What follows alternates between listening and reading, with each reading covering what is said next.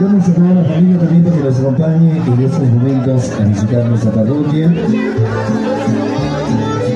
A realizar también tradiciones las mañanitas allá en nuestra parroquia, por favor.